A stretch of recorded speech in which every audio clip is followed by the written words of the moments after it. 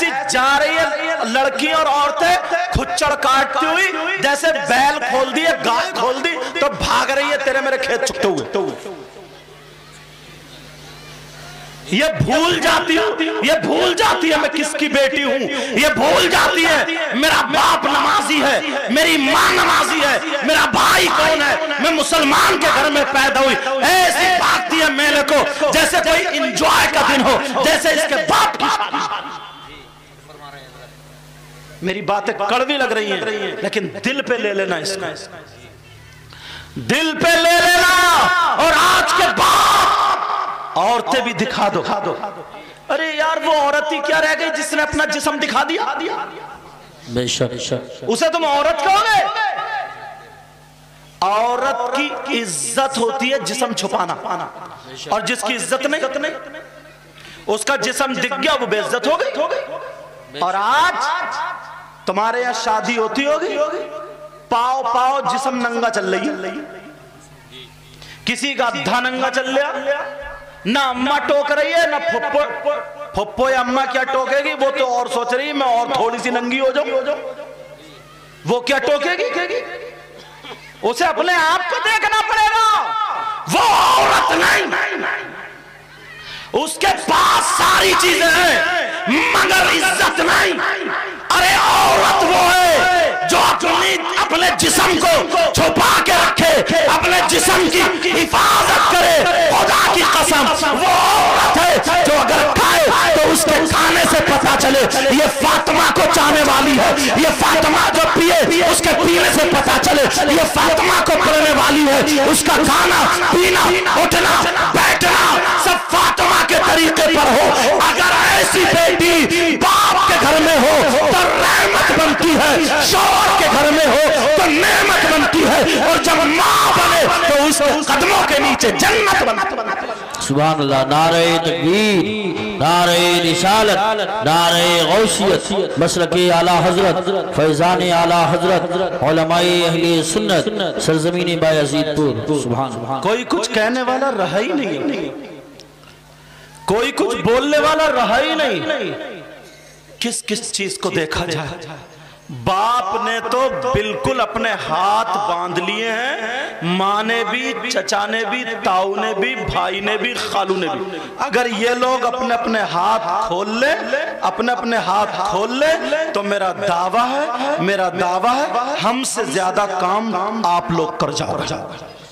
بے شک۔ ہم تو صرف تقریر کر کے تمہیں بتا کے یہ علماء کی موجودگی میں چلے جائیں گے، مگر اس پہ دوام، استقلال آپ کو کرنا ہوگا، تبھی کام بنے بے شک۔ ایک رات میں تو جلسہ سن لیا اور جو اب تین سو راتیں بچی یا دو سو بچی یا ڈھائی سو بچی یا سو راتیں بچی، ایک سال میں ایک جلسہ ہو گیا۔ بڑی اچھی بات ہے، خوشی کی بات ہے، ہونا چاہیے۔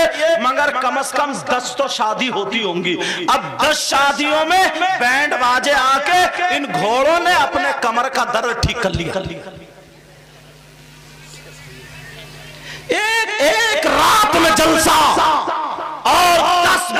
براتوں میں یہی ناچ رہا ہے، یہی ناچ رہا ہے۔ جلسہ تب جلسہ ہوگا اگر یہاں سے توبہ کر کے اٹھو، یہاں سے عید کر کے اٹھو۔ ہر بھائی، ہر بہن، یہ توبہ کر کے جائے، یہ عید کر کے جائے۔ انشاءاللہ آج کے بعد ہم اپنی زبان سے نہیں، ہم اپنے کردار سے بتائیں گے حسین کے غلام ہیں۔ ہم اپنے کریکٹر سے بتائیں گے۔ ہم حسین کے غلام ہیں۔ ہم اپنے اعمال سے بتائیں گے۔ ہم حسین کے غلام ہیں۔ ہم نہیں کہیں گے۔ دنیا ہمیں دیکھ کر کے کہے گی یہ ہے نبی اور حسین پاک کا غلام۔ سبحان اللہ سبحان اللہ ماشاء اللہ۔ ساتھ دو گے میرا؟ کون کون؟ ساتھ دے گا دیکھو۔ الحمد فیشن ہو گیا ہاتھ اٹھانے کا بھی۔ سنو پہلے۔ ہاتھ اٹھانے کا بھی فیشن اس کو بڑی بات سمجھتا ہی نہیں۔ یہ سمجھتا ہے کوئی بھی شاعر آئے گا اٹھوائے گا کوئی بھی مقرر آئے گا اٹھوائے گا یار یہ تو چلی رہی ہے یہ تو چلی رہی ہے مگر نبی کے جلسے میں ہاتھ اٹھا کے اگر عہد کرو گے وائدہ کرو گے تو یہیں سے پکی سچی توبہ کر کے تمہاری لائف تمہاری زندگی یہاں جو بچی ہے وہ بھی کامیاب ہو جائے گی اور توبہ کرتے کرتے کرتے کرتے جو پیچھے گزر چکی ہے وہ بھی کامیاب ہو جائے گی جو اصل زندگی ہے آنکھ بند ہونے کے بعد وہ تو تمہاری روشن و بہت تابناک ہو جائے یہ آت اللہ کے واسطے رسول اللہ کے واسطے۔ اگر رسمی طور پہ اٹھاتے ہو تو مت اٹھانا۔ جی، جی۔ رسمی طور پہ اٹھاؤ تو مت اٹھانا۔ مندر آج دل کی گہرائیوں سے اور دل میں جاگ کر کے اپنے گناہوں کو سامنے رکھ کے